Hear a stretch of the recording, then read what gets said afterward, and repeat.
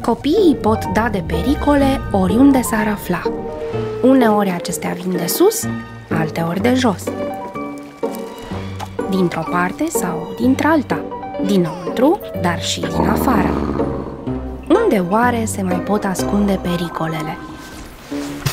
S-ar putea să fiți surprinși. Când vine vorba de siguranța copiilor, părinții știu.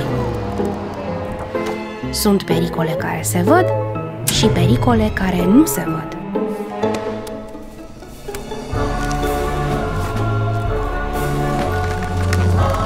E imposibil să evităm toate pericolele peste care dau copiii, dar îi putem ocroti de cele care ajung în organismul lor. Protejați-vă copilul, vaccinați-l, îi poate salva viața.